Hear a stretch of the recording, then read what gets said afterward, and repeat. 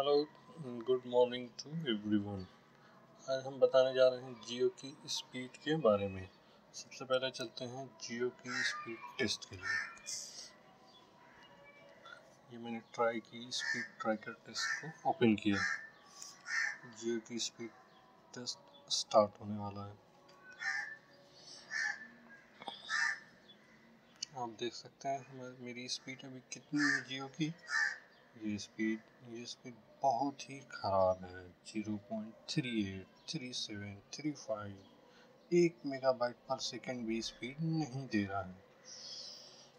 Upload speed check करते हैं। Upload speed थोड़ी अच्छी है, लेकिन अपलोड स्पीड हमें किस काम की दोस्तों? जब डाउनलोड हमारे लिए नहीं मिल रहा तो एक बार फिर से चेक करते हैं। लेकिन टेस्ट करते हैं।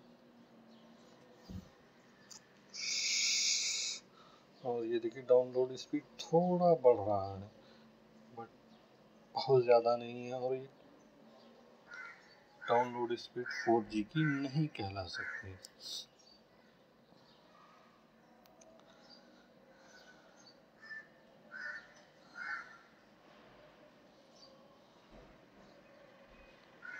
अपलोड स्पीड अच्छी है अभी। तो ये अभी करंट हमारी डाउनलोड और अपलोड स्पीड है। अभी चलिए मैं आपको कुछ रिकॉर्ड्स दिखाना चाहता हूँ। इसके लिए मैंने रिकॉर्ड ट्रैकर पे अपने जाता हूँ फ़ाइल एक्सप्लोरर पे। और ये रिकॉर्ड देखिए एलेवेंथ नवंबर की है। सुबह के तीन बज के उनचालीस मिनट पे। ये मेरे ऑफ़िस की स्पीड है। यहाँ पे रिलायंस जियो की स्पीड काफ़ी अच्छी आती है।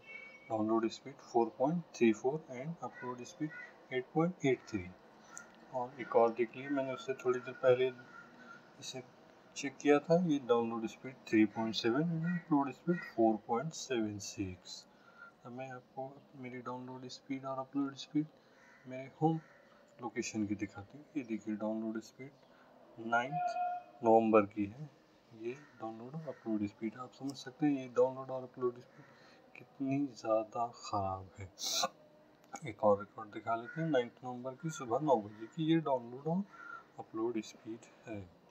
मैं आपको मेरे ऑफ़िस की फोर्थ नवंबर की सुबह छः बज के थर्टी सिक्स एम की डाउनलोड और अपलोड स्पीड आप देख सकते हैं दोस्तों download speed twenty three point five three upload speed six point nine four download speed twenty six point zero nine upload speed six point nine तो इस data को आपको देखने के बाद ये समझ में आया होगा कि डाउनलोड और अपलोड स्पीड लोकेशन के हिसाब से कम और ज़्यादा हो रहा है। मैं आपको यहाँ पर बताने जा रहा हूँ कि मैंने अपने रिलायंस जियो के नेट के एपीएन में कोई सेटिंग में कोई बदलाव नहीं किया है।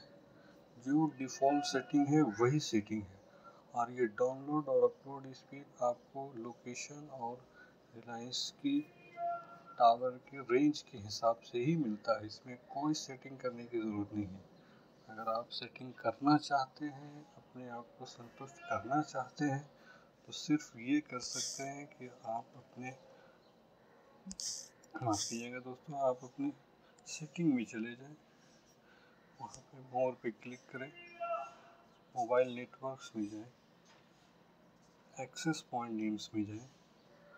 और जी पी आर एस में जाके आप यहाँ पे देख लें कि ऑथेंटिकेशन टाइप पैप है या नहीं। अगर नहीं है तो उसे ऑथेंटिकेशन टाइप पैप कर लें। और बैरियर को एल कर लें।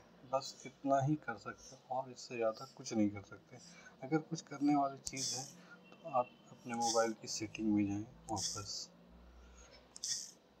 सेटिंग में जाने के बाद स्टोरेज में जाएँ। स्टोरेज में जाने के बाद आपको कैच डेटा दिखेगा। तो जब भी दोस्तों नेट आप चलाना चाहते हैं स्पीड देखना चाहते हैं तो कैच डेटा को डिलीट कर दें। कैश डेटा डिलीट होने ही वाला है। और ये डिलीट होके 1.2 पॉइंट के समथिंग रेंज में आ जाएगा। तो आपको मेरी इस वीडियो से ये समझ में आया होगा दोस्तों कि रिलायंस जियो की नेट की स्पीड में कोई मैनुअल चेंजेस करने से फ़र्क नहीं पड़ता है। और आपने जितनी भी वीडियो देखी होंगी, उसका कोई आपको फ़ायदा नहीं मिलेगा। धन्यवाद दोस्तों। और हमारे चैनल को सब्सक्राइब करें। Thank you thank you.